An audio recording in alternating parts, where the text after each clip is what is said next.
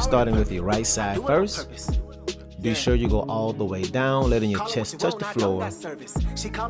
Push with the same amount of force in each hand. Right side first, then left side.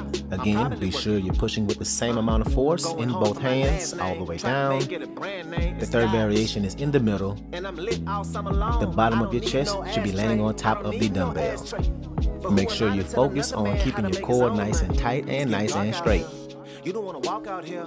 Fuck minimum wage, it ain't no jobs out there. No, niggas standing on the